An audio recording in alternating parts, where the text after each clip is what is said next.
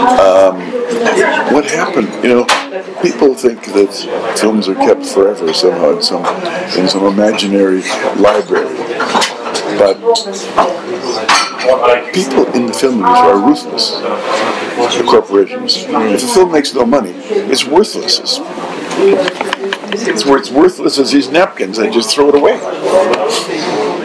And so, and mine's not the only film that, that took, when the film opened, nobody came. It didn't work in Australia, which was the home state.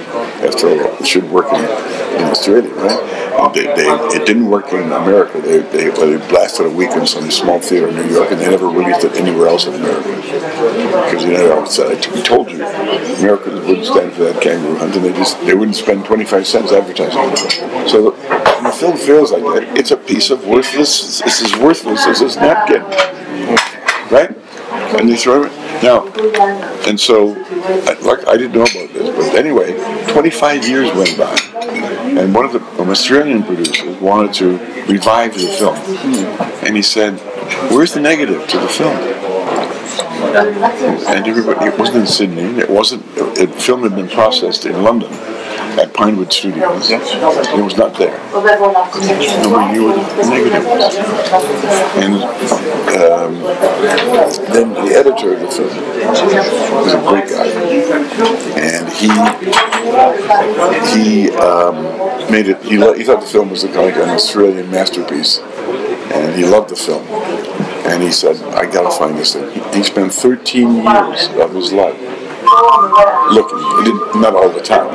Between jobs, he would go over a period of 13 years. He at his own expense, and he went. He went to London. He went to New York. He went to Dublin. he went everywhere.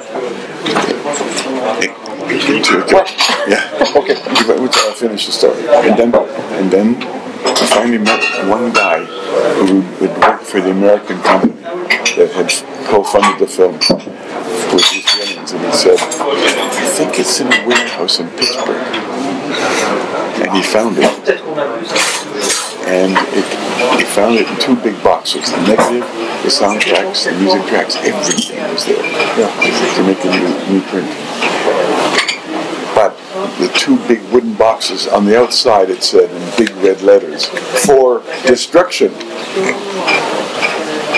Had he arrived one week later, they were going to incinerate, burn the whole thing, because no one had paid the bills for the storage cost, and they were going to just burn it. And it's not just that film. When he was in London, there were nine films that were going to be burned. Because the guy said to the editor after he said, "We have nine films here. Do you know anybody of these guys, these directors?" he said, "No." He said, "Well, we're going to burn these films." So it's all the time. It happens. The number of if a film's not successful, it's as far as they're concerned, it's worthless. It's garbage.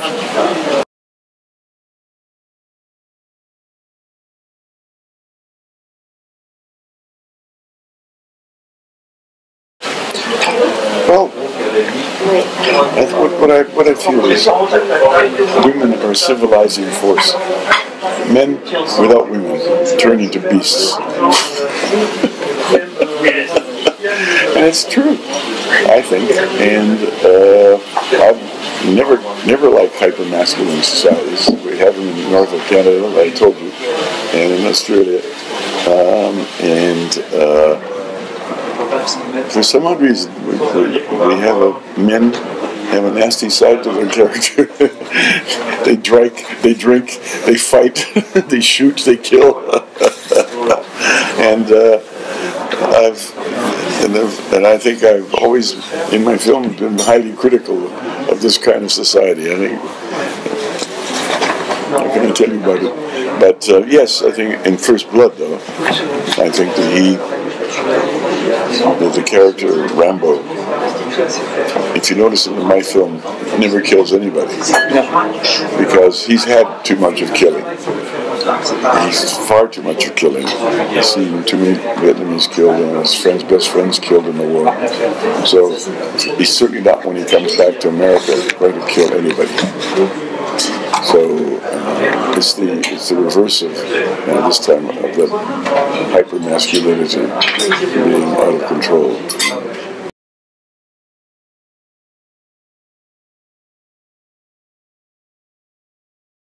Well, that's why I never did. That's why I never did the secret because they perverted story. You know, they suddenly made him killer, killing again. So my films was against the Vietnam War, was against killing, and suddenly now they're making making films about killing is good. no, um, that's why I never directed them.